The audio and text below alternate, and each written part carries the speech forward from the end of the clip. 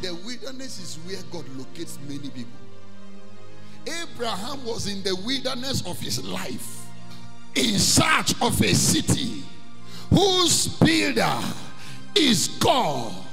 In that wilderness experience of his life, the Lord showed up.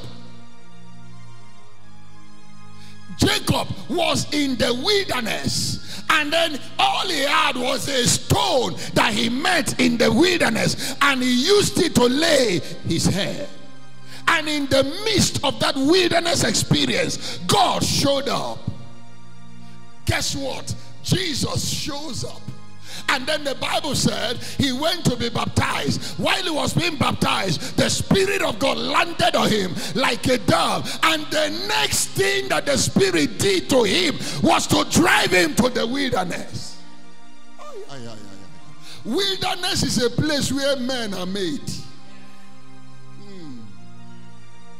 Wilderness is a place where men are made. I feel like I'm talking to somebody that is in a form of wilderness. You are bewildered, you are confused, you are wondering, Lord, what am I doing here?